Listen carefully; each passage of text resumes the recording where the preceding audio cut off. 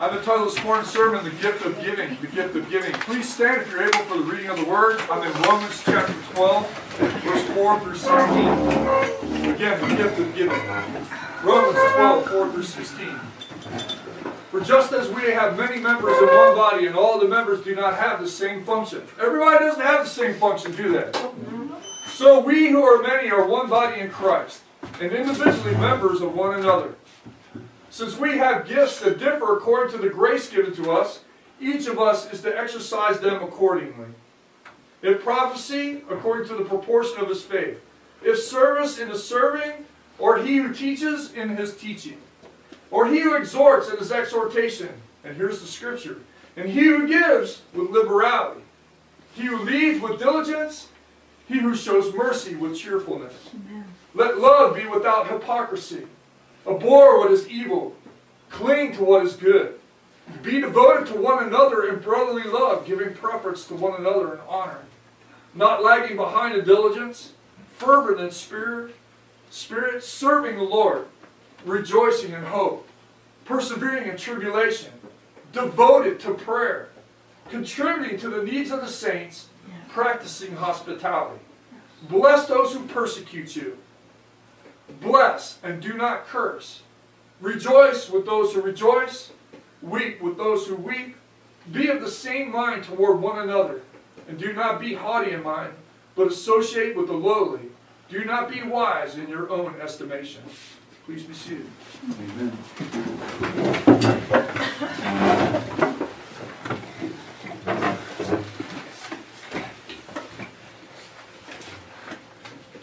I was given something this this week, and uh, this last week I, I, stumbled across a, a, little book in the box back there. You know, you go through all the books back there. I don't know if you have, but I, I found two, and I've, I've, read one, and now I'm, i have read the other. But I want to go back to the second one because the second one really spoke to me. Um, it's a it's a book by a guy named Brother Lawrence, and he's not the one who wrote it. I don't know if you've ever read Brother Lawrence but you need to. If you go out and get that book, just look past the fact that he's a Catholic, okay? Just look past it. Listen to what the guy said. Because he's a brother, and he's a Christian. And you know, his whole life, you know what he spent doing? Trying to do? To bring in the very presence of God. And you know how he did it? By loving. That was his one focus. And everything that he did and everything that he said and all that he tried to do, you know what his main focus was? Think about this. Write this on your mirror at home. How can I love God today? In everything that I do, how can I love God today? Am I loving God in flipping the egg that I made for my wife this morning? What is it? Is it helping? Is it giving to someone else? Whatever you do, do so to love God. And I think that's the heart of the gift of giving the gift of giving. What's it mean to give? What's it mean? What, what form of attitude should I have when I do so? And how do I do so? What should I give? Because too often when we think about giving, all we think about is what? Money. Money. That's not what this sermon's about. When, when shall I give? When shall I do so? I must say first that within every aspect of the Lord's teaching, we must recognize first where it comes from. What? The ability to give. Better said, from whom it comes from. The Lord. And the best examples we have of giving is from God Himself. Would you agree with that? Yes. The best examples we have are the giving that the Son gives. Would you agree with that? And the Holy Spirit, who also gives to us. We should also recognize there's a special form of giving which is given by the Holy Spirit. That's what we just read in the Scripture. That some people have a gift of what? Giving. And he who has that gift should give what? Liberally. Liberally, generously, overflowing. Because that's exactly what God does for us. What a wonderful gift to have to be able to see needs and to be able to meet them and to do so out of love, out of mercy, out of being cheerful in it and liberally, not holding back anything. In, in, the, in the Greek, giving is defined as to give. Oh, that's pretty simplistic, Chuck. Yeah, listen to the rest of it. To give something to someone. To bestow a gift. To grant or give to someone's request. To supply and furnish things that are necessary. To give over. To deliver. To give forth from one's self. And when I think about that last term, to give forth from oneself, it marries up so perfectly with God. Because in everything that God gives to us, you know where it comes from? From within Him. And I was talking with, you know, it, I think I mentioned this the last time I preached. Is like, you know, when a cook goes out and cooks something, and they, they take joy in putting something together for someone else. They're making it for their family. They're making something for someone else, right? And they genuinely love it. You know what they? What, you know what else goes into that? A part of themselves, isn't it? And in every aspect, God does this for us because every aspect of anything that you have in life, the very breath that you breathe today, the very life that you have within yourself today, is an absolute gift of God. And you should ask yourself this question how can I love God back for it today? How do I give it back? A part of Him has been invested in you. Amen? Amen? Regardless of where you're at in your life. God has given you a gift, and you say, I don't have a gift. According to the Holy, yes, you do. You have the very gift of life in you. And sometimes I think the only time we ever want to marry up the, the scripture of gift is when we look through the gift of the Holy Spirit. But don't you realize the salvation you receive is a gift? And therefore, you know, salvation can promote itself after itself. Did you not know that? Does it have to be in preaching? No, maybe you just draw alongside somebody. Is that a sense of giving? Oh, absolutely, of yourself. You don't, you don't go out, you don't minister to the world. You're not doing all those things that we want to put such a high priority on. You know what you do? You simply go and you minister to some kid who has nothing. Or maybe, or maybe you know, not, not, to, not to pick on, on, on what we're going to do uh, in the next couple of weeks is you, you pack a bunch of boxes and you send them off to children you're never even going to see. You might not ever even meet them. And you think about the value of that? It may not, not, may not mean so much to you right now. But when that child opens up that box, regardless, and they see something that someone's put together for them, and they never asked for it, and maybe it's in a terrible time. Maybe they've gone through a hurricane, Maybe they've gone through an earthquake. Maybe something terrible's happened. Right? Maybe something terrible's happened and they just need somebody to show them just a little bit of love. And you think that doesn't matter? It matters. The investment, do you think we deserve what, G what God gave to us? The greatest gift a man could ever receive. How much did he invest in that? Everything. Everything. What? Everything. He gave everything. All, all, all that is of God. He invested in his son to send to you. We deserve that. You opened up that package, and I promise you this, you're still discovering what's in that package. I know I am. I'm still discovering what's in the package that God sent to me. He keeps on opening my heart and my mind to things in His Word.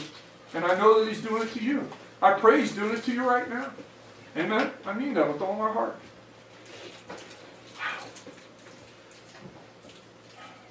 I love that last one, to give forth from oneself. I love it so much. Why? Because it resonates with the very heart of God. Giving is a result and a product of who you genuinely are within. Who are you really inside? The act itself of giving is married to you.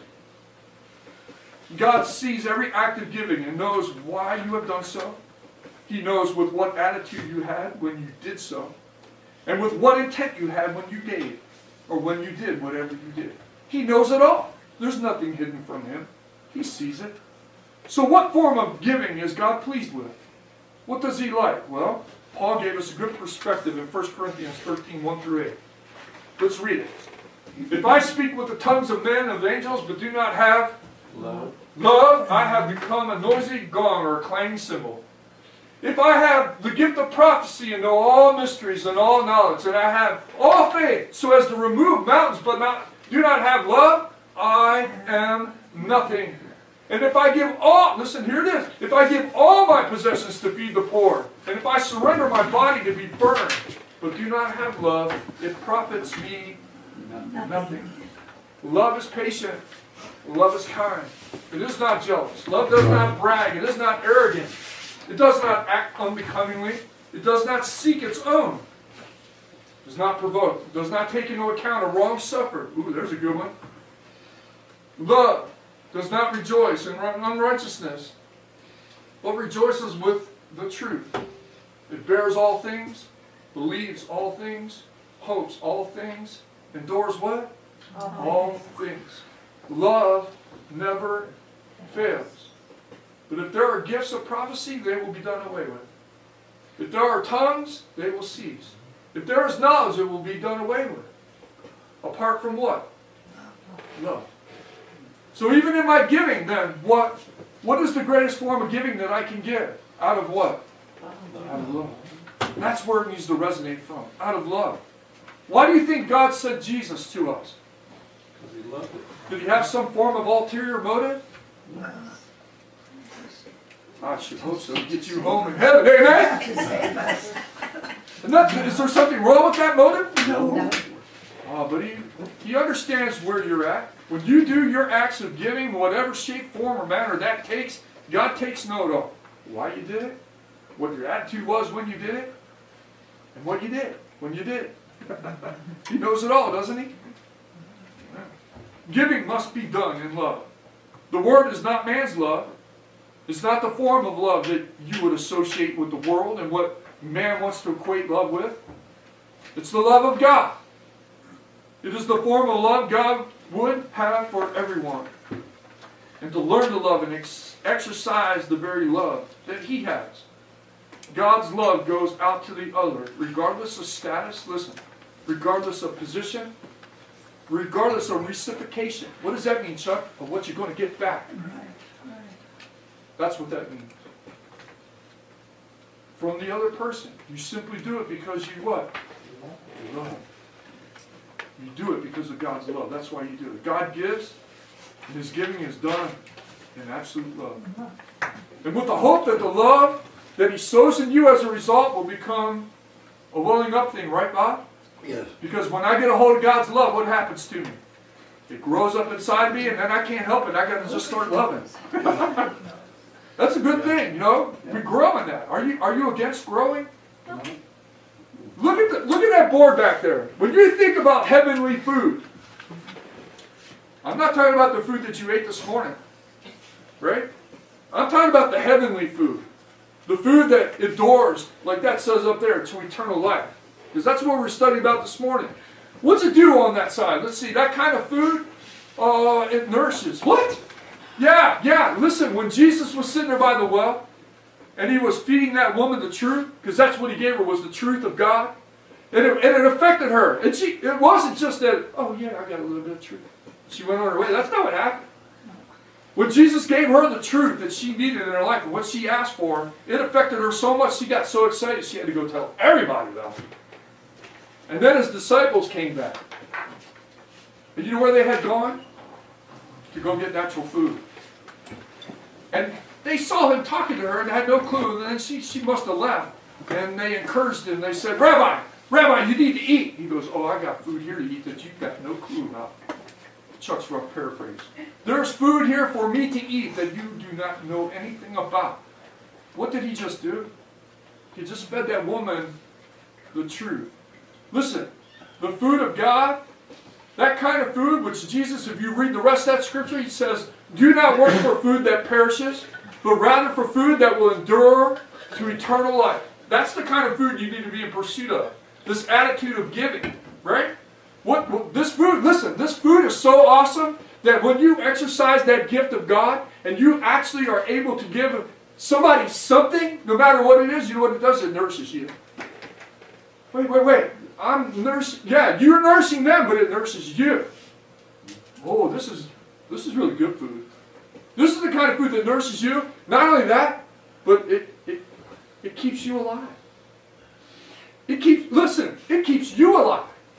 What what this act of giving, this act of doing what God wants me to do, keeps me alive. Absolutely.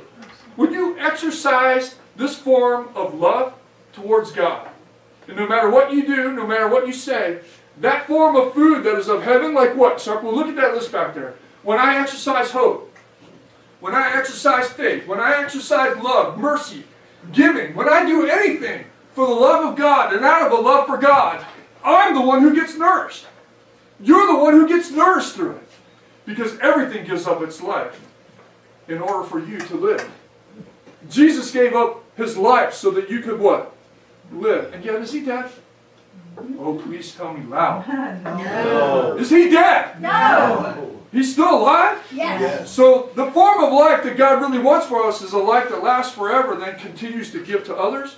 Oh, I want that. Yeah. That's what truth will do for you. Yeah. That's what truth will do for you. It'll nourish you. It'll keep you alive. It will absolutely cause you to grow. Just like you ate those carrots, or that roast beef, or the good deer that he's going to be eating here soon, right? I'll share. I don't get mad. It's okay. I'm not against any of you people who are, who are veggies only. There's nothing wrong with that. I'm not against that. I, I, that some people make their veggies and they're awesome. I love them, right? I do. I, I love them. Like chowder soup? Yes, like chowder soup or whatever it happens to be, or or or the, those those camper packs. Oh man, this is just good stuff. There's nothing wrong with that. But the the the the principle is this: is that God has given us everything that we need for what life. Even the things that God gives to us causes us to live. It nourishes us. It, it pours itself into our bodies, and then what? It enables us to live. Think about it. Think about it. It enables us to live. To live and give. Yes. To live.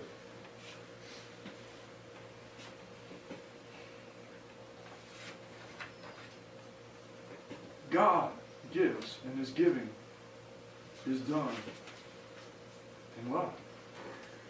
So therefore, I should be just like Him. My giving, when I give, should be done in, in love, and love. Jesus also taught us to give. Look at Matthew 6, 1 through 4. It says this Beware of practicing your righteousness before men to be noticed by them. Otherwise, you have no reward with your Father who is in heaven. Pretty, pretty flat out, isn't it? If you're, if you're doing your acts because you want what? To be seen by men, you get nothing. Oh, you might get man's approval, but you get nothing from who? God. There's a reward that he wants to give you. So when you give to the poor, do not sound a trumpet before you, as the hypocrites do in the synagogues and in the streets, so that they may be honored by men. Truly I say to you, they have received their reward in full. But when you give to the poor, do not let your left hand know what your right hand is doing. What's the attitude there? I'm going to I'm going to be quiet. I'm just going to do what God has put in my heart to do, and I'm going to go do that. And if you get caught, if you get caught, it's okay. Verse 4 So that your giving may, will be in secret, and your Father, who sees what is done in secret, will, will reward you. You keep coming back to this. We were talking about this this morning. I'm going to share this with you because it was just, it was really, it's really interesting to think about. In, in the Jewish, in the Jewish style of life, especially when, in Jesus' day, and even today, what can you not do on the Sabbath? Work. You can't do any kind of work. Okay. So Jesus is walking through Solomon's colonnade. And this happens to be when? Sunday. On the Sabbath. Sabbath. It's on the Sabbath. And there's a guy who's a paralytic, can't walk, can't get up, can't do anything. And he's there, and you know what he's waiting for? He's waiting for the water to be stirred. Because he knows, man, if I get into the water after the water, everybody who gets into the water after the water is stirred by who? Angels. That they'll get healed. And the Lord comes up and you know what he asks him? He says, You want to get better? Do you want to get better? And the, the, and get- instead of the guy just giving him a yes or no answer, he goes, Oh, every time I, I try to get down in the water, somebody gets in ahead of me and I can't make it when the water's stirred. And so Jesus says to him, What? Stand up, rise up, take up your mat, and go home. And heals him immediately on the spot. Now, this happened when? On the Sabbath. So, the guy doesn't know who it was that did this. He doesn't know it was Jesus. And then Jesus comes up to him in the temple later on and says, Hey, don't keep on sinning because if you keep on doing things wrong, something worse can happen to you. Other than being a paralytic, let that sink in. Yeah. Yeah. Like, like being a paralytic isn't bad enough. If I keep on doing things that are contrary to God, worse things can happen to me. I need to think about that. Yeah. So, but he finds out it's Jesus, and guess what he does? He goes and tells the Jews. Now, the Jews have got a problem with this because he did this when? On the Sabbath. On the Sabbath. So, what's the point, Chuck? Um, I'm sorry, but who stirred the water on Sabbath? Angels. What? Wait, wait, wait. Now, angels are messengers from who? God. Ah! What are you telling me that God's working on the Sabbath? You're telling me that God works on the what? He's the one who stirred the water. He's the one who sends the angels to send the gift of healing to this individual. And Jesus is just mirroring his Father. Especially when it's always about doing what? Yeah. Good. And right to somebody else.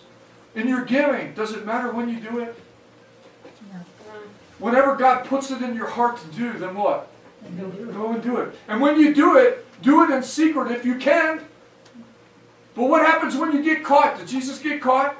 Yeah. He got caught healing this guy. Does he ever say, No, I didn't do that? No. Huh? No. No. Does he does he ever kind of well, you know, it's just does he ever skirt it? Does ever not acknowledge the fact that he's the one who you know, they never really talk to him about it. This is what blows me away about these guys in the body. They, it's not a matter the guy was absolutely healed of being a paralytic and able to say, How'd you do that, Lord? They don't ever ask that question. They're always trying to stone him and kill him because he did it. I don't understand it. I don't comprehend that. Do you know somebody who needs a touch from the Lord? Can you imagine? Can you imagine what the reaction would be as if they were immediately healed if you knew someone? I think about Brian right now. I think about Brian right now, who's laying still in a wheelchair, is he not? Yeah. Having a little bit of motion in his hands, his feet a little bit, but still not completely what? If the Lord was to reach in and heal him immediately, how many people would know? Oh. And how would it affect you as an individual going, wow, Yeah. oh Lord, grant it to him. I want it for him, do you not? I do. I do. We want it for him, don't we? Yes. Amen. So why does the Lord keep us in those states? then? To learn. To learn. Having this conversation the other night. We were having this conversation the other. You know, sometimes you go through things like that, not for them, but for you as an individual. To bring you to a point where you're in full reliance upon who? God. Where you are. Full reliance upon Him. Does it bring them to that point? I pray so. Absolute full reliance upon Him. Absolute. The gift of healing. Genuine healing. Chuck, Yes. here's an example. Here's Loree over here, quiet, meek, and mild. And somebody comes to her and asks her to talk.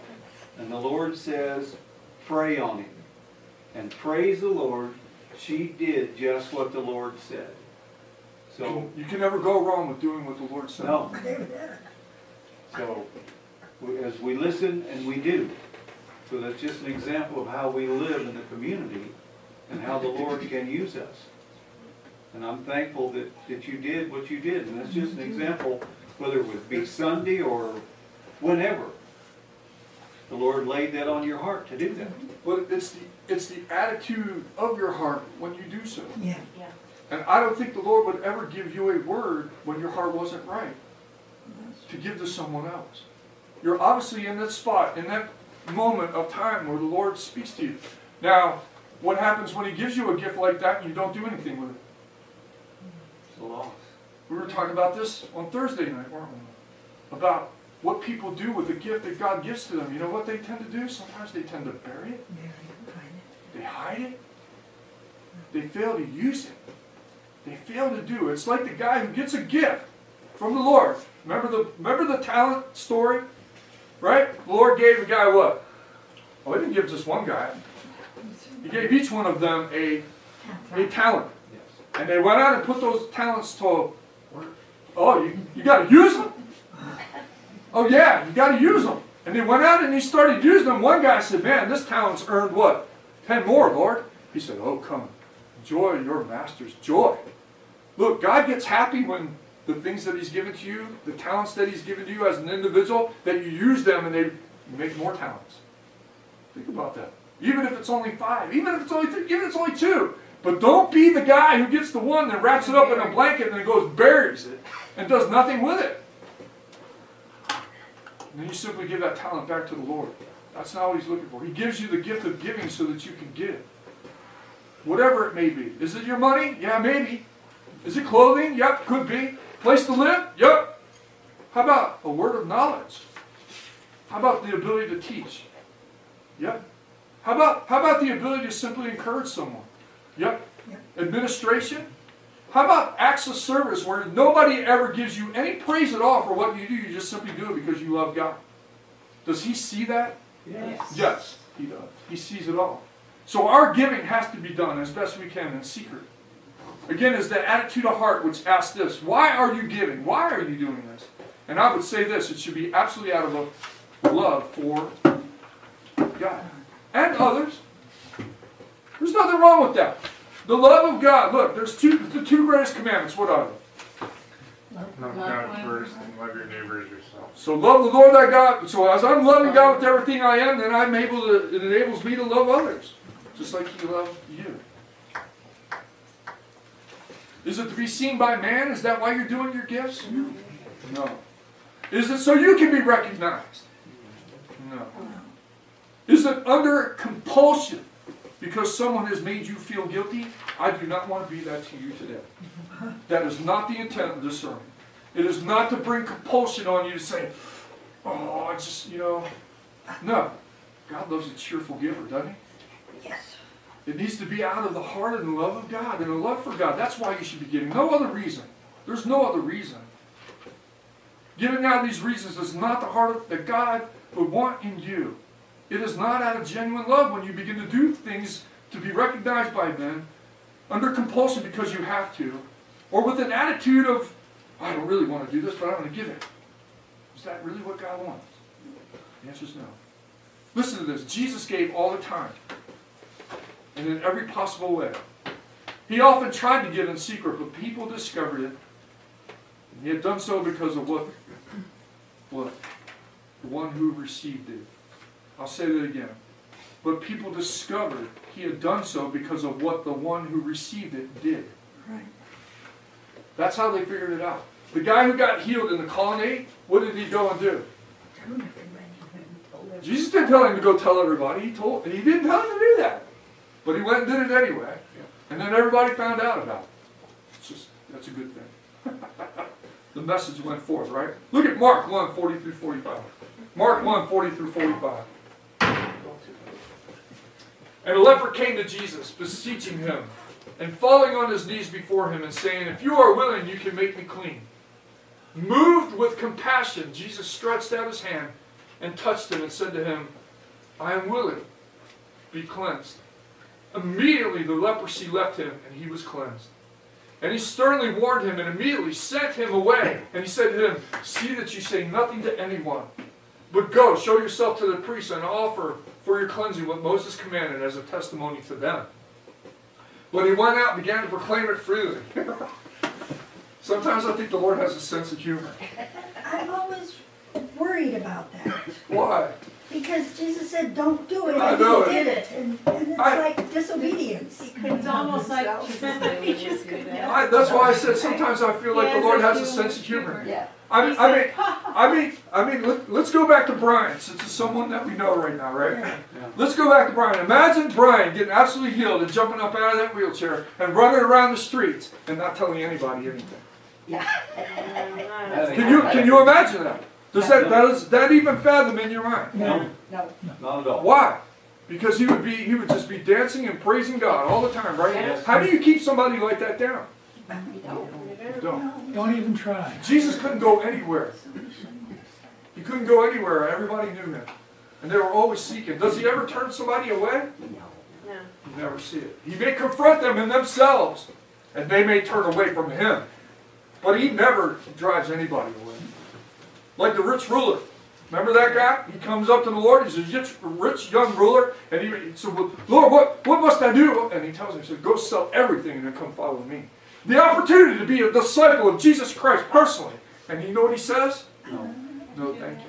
Because his heart was filled with this stuff.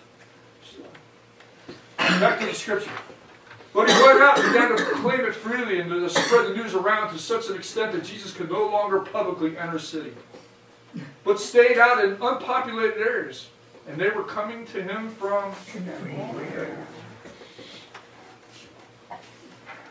I wonder what secret giving Jesus has given to you. Let that sink in for a moment. What has Jesus done for you secretly that no one else knows about? Maybe it's forgiveness that you need for something you did a long time ago.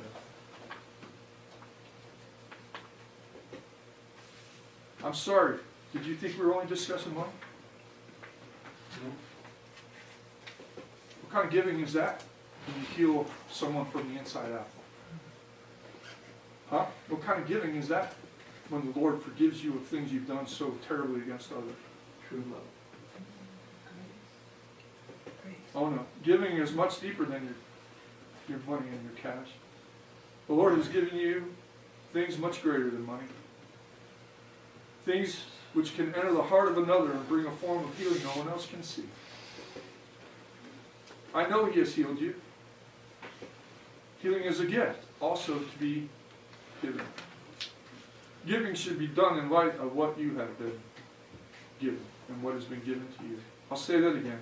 Giving should be done in light of what you have and what has been given to you. Comes back to that forgiveness thing again, right? How can how can I forgive? How can I ask for forgiveness from the Lord and then not give it? How does this work out? It's not the way it's supposed to be. I'm supposed to give in light of what's been given to me. So if I'm forgiven, then I should give what? Forgiveness. And if I've been given hope, then I should give for it. And if I am given mercy and I'm given love and I'm given all those things that are so wonderful of the kingdom that we talk about all the time, the actual food of heaven, then what should I be about? Giving forth the same. Giving 2 Corinthians 9, 5 through 15. Paul speaking. So I thought it necessary to urge the brethren that they would go on ahead to you and arrange beforehand your previously promised bountiful gift, so that the same would be ready as a bountiful gift and not affected by covetousness. Now this I say, he who sows sparingly will also reap sparingly, and he who sows bountifully will also reap bountifully. Now most people take this scripture out of context and are always talking about again what? Money. But doesn't it work with love? And doesn't it work with hope? And doesn't it work with the genuine things of the kingdom of heaven? And the answer to this question is absolutely yes, yes, yes, and yes. Everything that God has given to you is an absolute gift. Want to see how? Well, let's continue on with Scripture. Verse 7 Each one must do just as he is purposed in his heart, not grudgingly or under compulsion, for God loves a Cheerful. cheerful giver. And God is able to make all grace. Wait, uh, money? No, all, all grace. Oh, that's right. All grace abound to you, so that as always, having all sufficiency in everything, you may have an abundance for every good deed. Everything that we do is a good deed. As it is written, He scattered abroad and gave to the poor His righteousness. His, his what? His righteousness endures forever. Do you realize that everything that you are so lucky to have as a Christian, the salvation, the forgiveness, the mercy, all that, you know where it all comes from, right? Out of God's righteousness. And in His righteousness, He spread that to you. In order for it to take its form inside of you, to become a part of you, so that it will go forth, including your cash. Verse 10. Now he who supplies seed for the sower and bread for the food will supply and multiply your seed for sowing and increase your harvest of your righteousness. What am I supposed to be harvesting then? Righteousness, not, not stuff. Righteousness, right? Oh, better stuff. Yeah, the things of the kingdom of heaven. Verse 11, you will be enriched in everything for all liberality which through us is producing thanksgiving to God. So in everything that you do, and all the giving that you do, what does it do? It brings those other individuals that you're helping to thank who? God. Not you. To thank God.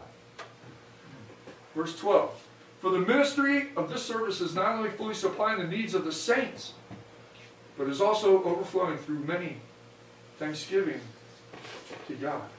So what Paul's saying is that, yeah, they've been supplying his needs so that he can go out and minister, but when the ministry actually happens, and real lives are changed, they don't thank Paul. You know who they thank?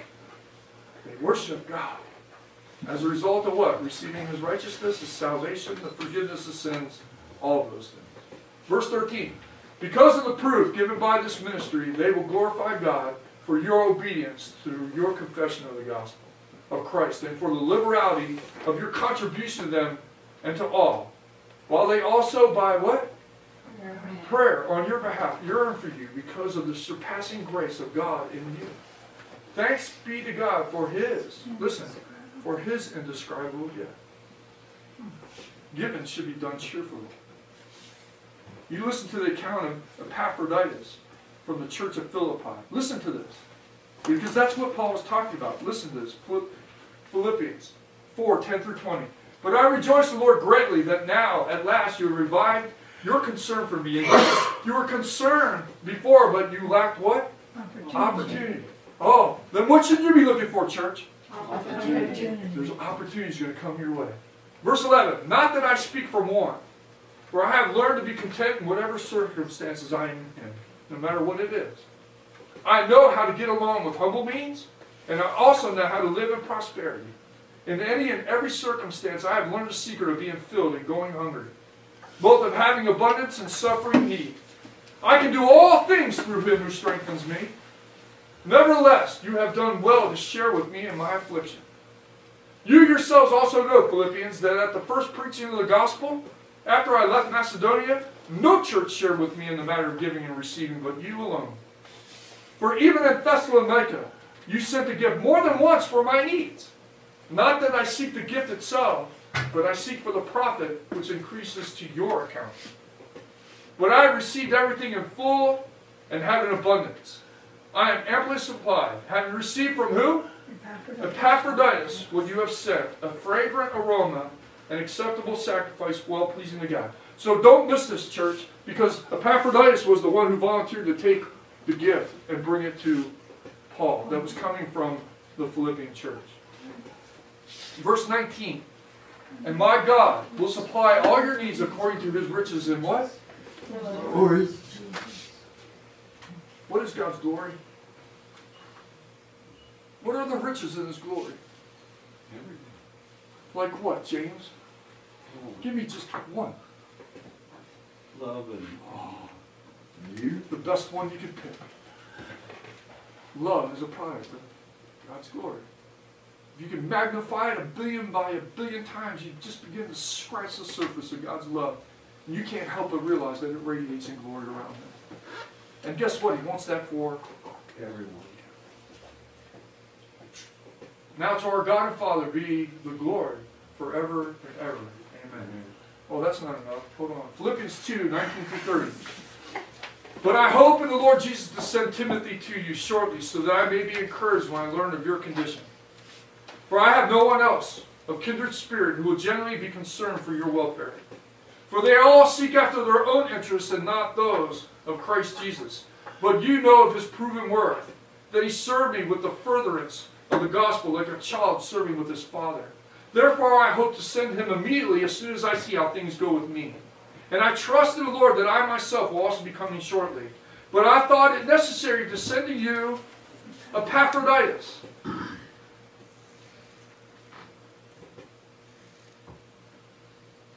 My brother and fellow worker and soldier, who is also your messenger and minister to my need, because he was longing for you all, and was distressed because you had heard that he was sick.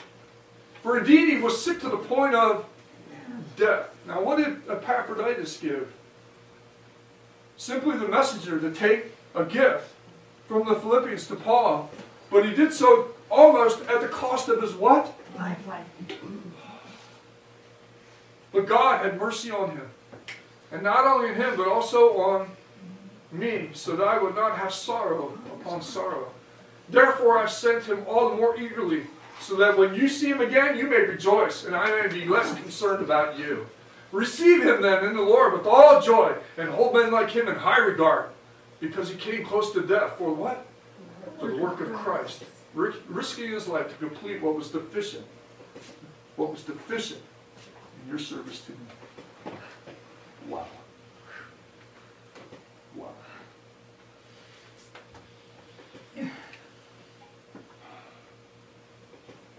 That doesn't resonate with you, I don't know what can this morning. You see what he did out of his love for God and for others? Simply to deliver something else that someone had put together. But they need someone to take it. And Epaphroditus says, I'll do it. At the risk of his own life, just to deliver it. The cost was great. Wasn't it? Not to him. He saw it as an opportunity to love. Listen, he saw it as an opportunity to love God. What should you write on your mirror this week? How can I love God? How can I do it this week? Listen to Jesus' evaluation of giving. Luke 21, 1 through 4. And he looked up and he saw the rich putting their gifts into the treasury. And he saw a poor widow putting in two small copper coins. And he said, Truly, truly, I say to you, this poor widow put in more than all of them. For they, all out of their surplus, put in their offering. But she, out of her what? Poverty, put in all she had to live on. That's the form of giving that Jesus is looking for. Is you giving everything that you can. You're all in, amen? Out of what? Out of your heart and out of your love. For who? For God. Not to be recognized by men, but simply to do what God has put in your heart to do. The ultimate giving is seen in the sacrifice of self to another. Jesus is the epitome of that statement. For he gave his life up for the sins of everyone in the world. Greater love has no one than this, John 15, 13 says, than what? Than one lay down his life for his friends. Sometimes you lay down your life for others. The gift of giving is an overflow of love. It's an overflow of mercy and compassion in your hearts as you seek to help another, regardless of the cost to you. Regard, I'll say it again, regardless of the cost to you. What should I give? Whatever God puts into your heart to give, that's what you should give. Time? Yes. A word? Uh-huh. Healing? Absolute. Help? Clothing? Food? Shelter? Mercy? Forgiveness? Love? Comfort? Yes, son, sometimes even your money. May it always flow out of love, though. The love of God in you. Love God. You get anything else out of the sermon today, love God. Love Him. And find ways to love Him. The opportunity to serve someone on the street, say to yourself, here's a great thought. How can I love God today? Or when you see an opportunity, say, here's an opportunity to what? I have an opportunity to love God. I have an opportunity to love God right now. To do what? Whatever God puts in my heart to do. Do that, amen? You can't go wrong with that. Amen? Every thought, say the scripture. Do you think the widow went hungry? No. I don't think so, but I don't know. It doesn't really tell us, does it? No. But We have faith in God, and we know that in what we do with Him and for Him, He takes care of us.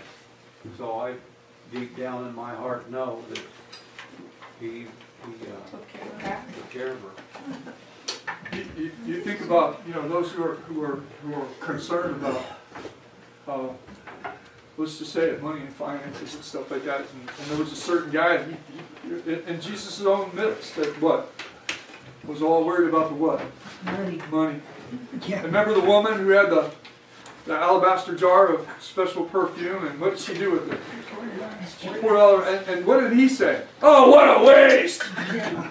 What a waste! We could have sold this and fed the poor. We could.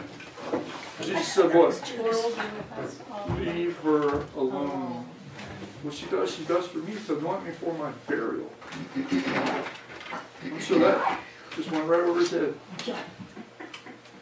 Huh? Sometimes, look, sometimes the, what you do, you can't look at it as exponential pluses and minuses signs. I can't look at it that way.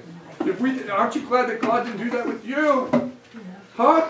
He, did he look at you and look at the pluses and minuses and say, nah, Jesus is just a little too much to give to you? Did he do that? No, Look, when you get, when you, do you get anything different than I do when you come to salvation? No. You don't. You get the same salvation, the same love, the same hope. How does it exercise itself within you? Each of us uniquely as it tailors itself to ourselves, right? Right. But in every situation, some people are just really good at other things. They call those talents. And when you use your talents, right? They grow. The more you exercise in your talents, the what whatever God has given to you as an individual, it grows and it magnifies itself, and it gets really easy for you to do. Why? It's just a natural over. Listen, it's just a natural overflow of who you are. Is it really tough for Jesus to heal someone? No. Why? Because healing and recreation is just like this for him. He doesn't have a problem with it. Giving should just be a natural overflow of who what? Who you are. In many, many different ways. What a waste of life for suicide bombers. They do it out of hate instead of love. And, and what, what do they do? Do they, do, they, do they not realize the destruction that they're doing? Huh? Uh, this morning we read about a, a guy. I don't know if you did. You read about this. This uh, what's his name? Uh, I can't even think of his name right now. But he was one of the top guys in ISIS that they took out yesterday or today or whatever it was. And at the end, he grabbed three of his own children. Three of his own children, and he had a, he had a he had a vest a, a bomb vest on himself. And as they were hunting him down, he exploded that thing and took out his children with himself. I, and, and, to think that somehow or another this is bringing about God's kingdom, where is the disconnect? People, and, and, and, and I'll say this: Is there any celebration in losing a soul? No. That guy did a lot of damage. This is the guy who took that one pilot and put him in a cage and then set a fire underneath of him as the crowds were cheering around him as they watched him burn to death. This is the, the mentality that's there. Is that what we're supposed to be about? Should we even celebrate over the loss of a soul? The answer is absolutely not. No. There's somebody that, imagine if the Lord had got a hold of that guy. He's If gonna, he's gonna get a hold of it. Oh, he's, Too late though, yeah. He's gonna get a hold of We, it. we, you know, the, the, there's humor in that, but there's no, there's no joy in a soul going before God and not knowing Jesus Christ.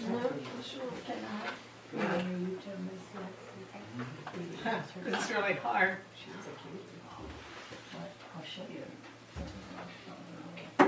As I'm sitting here, I'm thinking.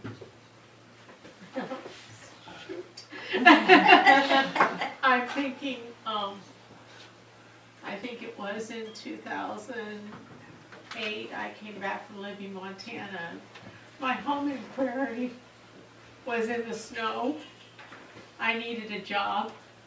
I came home under really adverse circumstances. Uh, the dog and the cat and I stayed in the Walmart parking lot in Lewiston, Montana, um, overnight. Um, was a really difficult time for me.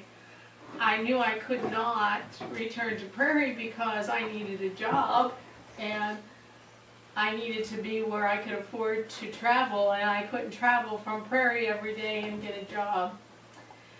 In the meantime, I had a friend, an elderly friend, who was having a really difficult time, and she lived in Mountain Home, and so I went to find her. Well, it turned out that she had moved, had a difficult situation with her daughter. I, um, and I went to church, at a church in Mountain Home, um, that morning, and I was just distraught because I didn't know where to find Levon. I was really concerned about her because there were some real strange things going on.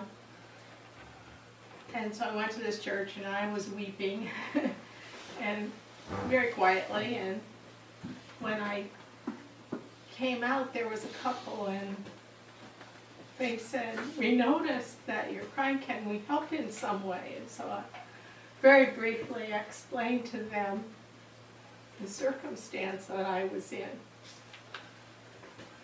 Um, and they, in their love of God, took me into their home from February to the end of March at spring break at church and let me live there and hunt for a job. And I spent the night with, I spent, I had my little dog with me too, and that was a burden, I'm sure, on them. So I'm sitting here thinking of them and really wishing blessings on them. I don't know where they are right now, but that's my story. Talk about love.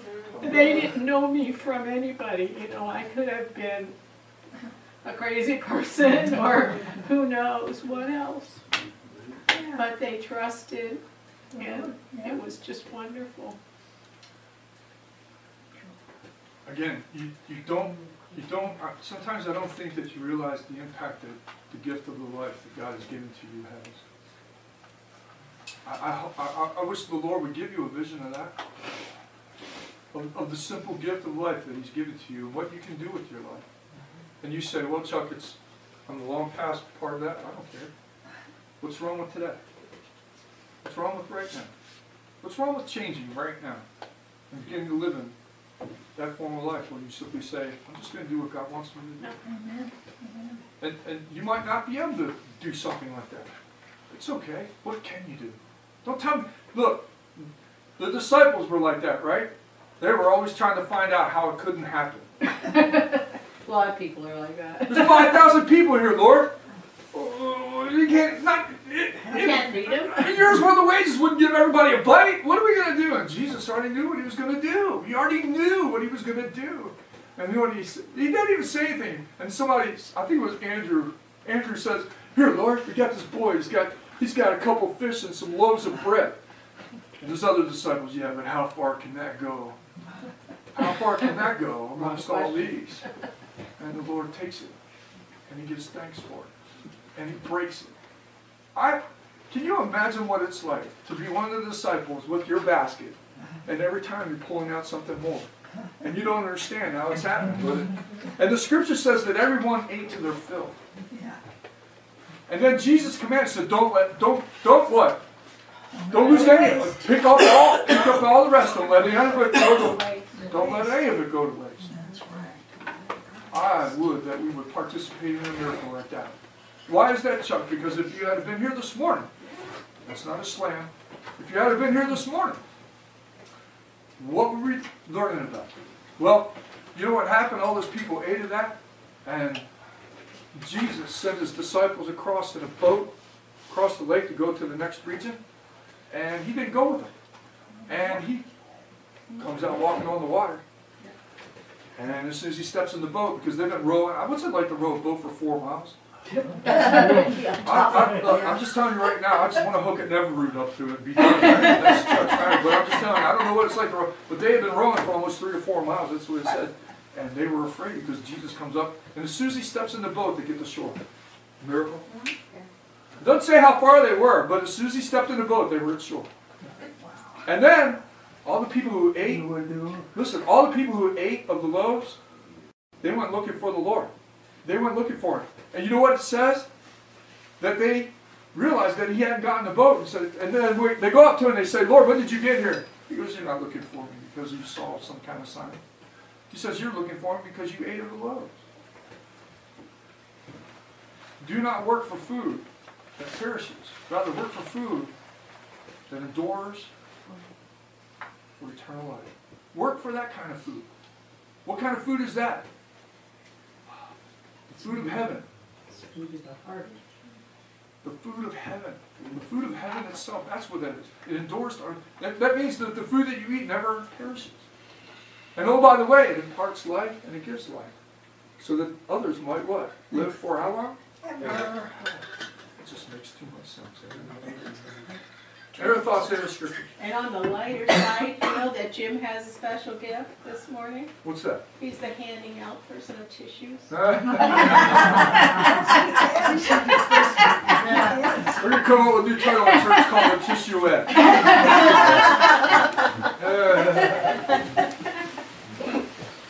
You see a need. Right, Larry, you see a need, you just do it. That's right. In that little book that I read, in that little book I read, the first thing that Brother Lawrence did, you know what he did? He gave himself over to the Lord.